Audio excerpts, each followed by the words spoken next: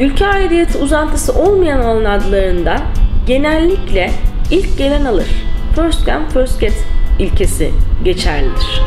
Bu alan adlarının tescili için sizden bir marka, bir şirket ismini yani bu alan adıyla buradaki kelimeyle bağlantılı bir hak sahibi olmanız beklenmez. Yalnız korunmayan tek şey kötü niyettir.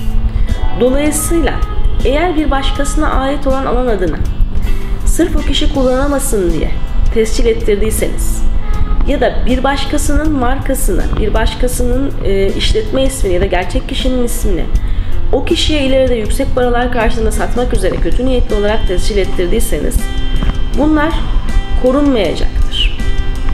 Bu tür durumların ispatı halinde e, bu alan adları iptal edilecektir. İspat her türlü delilli olabilir.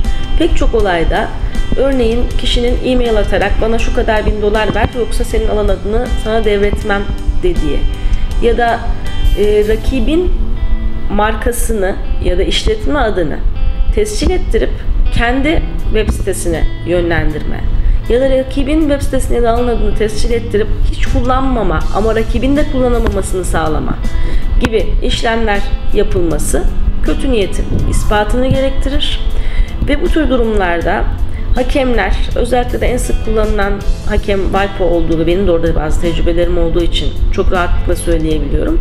Bunu rahatlıkla anlayabiliyorlar, tespit edebiliyorlar. Yaklaşık bir buçuk iki ay içerisinde çok özel bazı durumlar dışında iptal mümkün olabiliyor.